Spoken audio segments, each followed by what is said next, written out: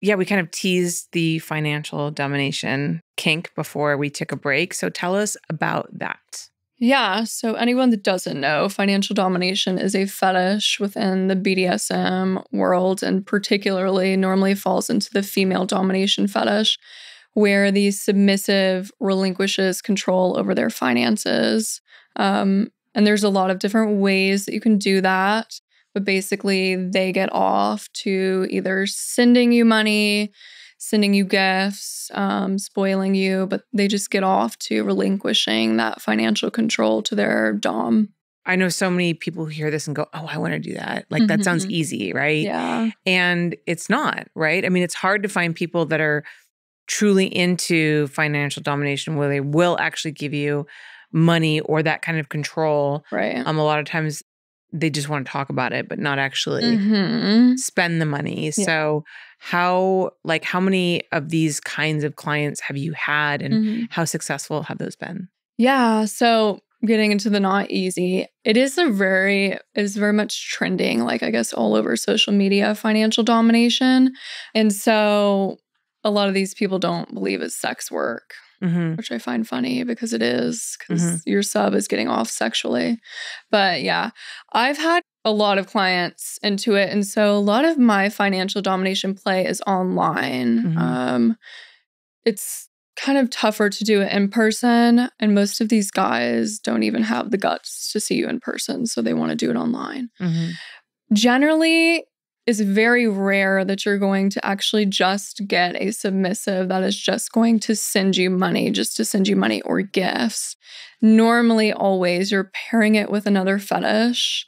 Um, like for me, for example, one big fetish that I always pair it with, and that a lot of my clientele is into, is gooning. So they're in that trance like state, stroking and stroking and stroking. And so their mind is fuzzy, kind of like melting away. And then that's when the financial domination aspect really kicks in because they're in subspace. And so all they want to do is please you and get off to you.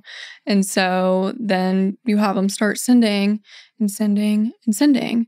But I think that's just kind of a misconception with financial domination that you're going to find subs just sending you money out of nowhere without any expectation. Um, it's very, very rare.